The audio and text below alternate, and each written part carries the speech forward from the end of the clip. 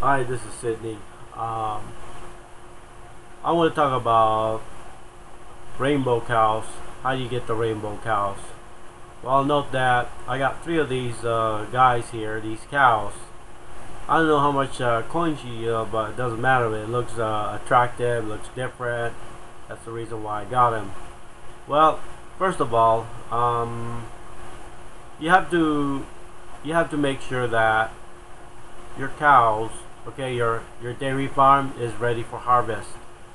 So that's what I need to do here is uh, make sure you okay I'll just go ahead and har harvest one of them okay? Um,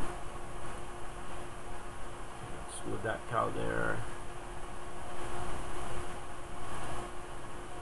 And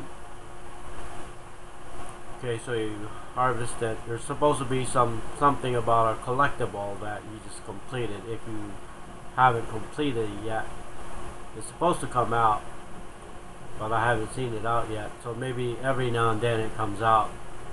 But um let's try this one. See if I can get a cow out of here. Uh, one of the collectibles come out because you have to get a collectible to come out so. Well, apparently I'm not getting any collect collectibles so.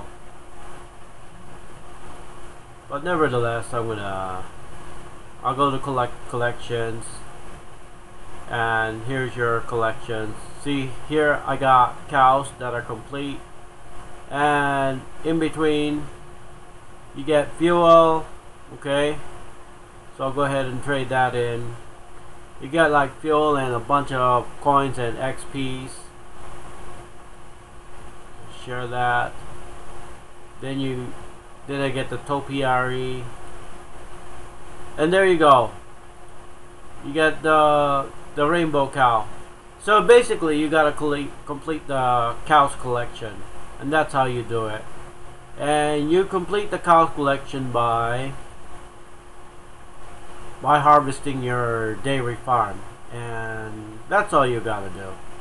It's real it's real easy. Uh, but it takes about a day so every time every time you harvest you're gonna you're gonna get something supposedly but anyway that's how I get the the rainbow cow. You have to uh, harvest your dairy farm.